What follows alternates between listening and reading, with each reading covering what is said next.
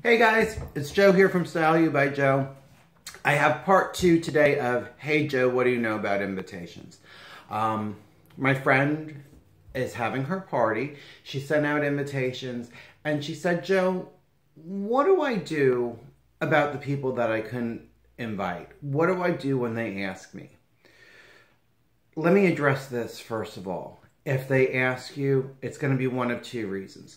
One, they're generally concerned and want to know why, which is one thing. But two, they're going to be nosy. Those are the people that I want to tell to go pound sand. Um, it's your party. You're footing the bill. You're planning the space. You're planning the party. It's up to you who to invite. Now, I will tell you, about a year ago, I had a party and I forgot to invite two very important people. Um, there was no hidden agenda. There was no hidden motive. I honestly forgot. Somebody said something to me and I was like, oh my God. And I, I had to make up for it. I had to say that I was sorry. That was genuine.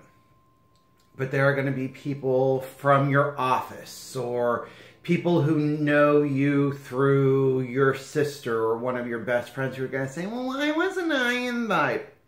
Mm. I'm terribly sorry I didn't have the space. There was a limit on space. I, am I'm, I'm terribly sorry. I just forgot. I'm terribly sorry. I had somebody else to fill that spot. Um, you do have to address it, and some people you can't be like really. So you have to say something. Normally, I go with space, or I go with just some other limit. But at the end of the day, it's your party you make up the guest list. You decide who to invite. You decide not to, who not to invite. Again, if you honestly forget some somebody, that's one thing.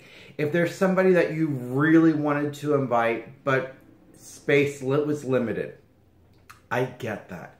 But people who are nosy, I, I don't get that. It's none of their business. Anyway, to my friend, I hope I answered your question. To those out there if you have any other questions, please ask me. Um, guys, you have a stylish day, and I look forward to talking to you soon.